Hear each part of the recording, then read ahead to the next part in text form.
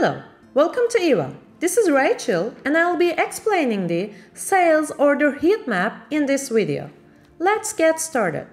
On the executive dashboard page, for the store in the US marketplace, we have a sales order heat map that illustrates the sales in the last 30 days on the state level. Here we have a map of the USA and here we have a scale. This scale is dynamic based on the sales data. Here the scale is between 1 and 10,000. However, this number could be 100, 1000, 10,000 depending on the last 30 days sales data of the store. As we can understand from the scale here, the darker the color gets, the higher the sales are. And this color representation is also the same on the map.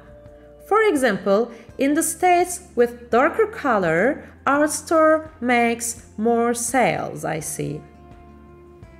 We can also see state-specific sales amount and quantity information. To check it, let's go and hover on the state and a pop-up text will appear for that state. For example, here in Texas, we have sold 1,648 units and total amount from the sales is almost $43,000.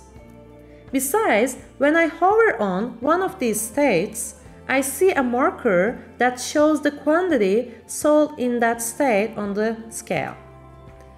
Besides, on the right side, we see the states where we sell the most. For our store, top states are California and Texas.